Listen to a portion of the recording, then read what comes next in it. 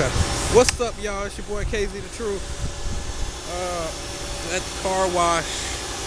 People, I'm sorry, I cannot see y'all real quick. I'm gonna walk over here. So we're getting ready for Thursday night, which you already know the deal with that. So I'm just making a little quick, little quick video here. Make commercial later on. God dang, that sun is killing my eyes. I don't have my shades on, but you know, y'all check out those two videos I put up about not early, not early in the morning, but in the morning. Y'all go check those out.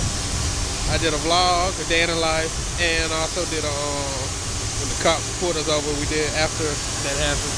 So y'all go check those out on both channels, Brothers Beyond Entertainment Channel and the Zoey Field channel. So I'm KZ the Truth. Much love. God bless and peace.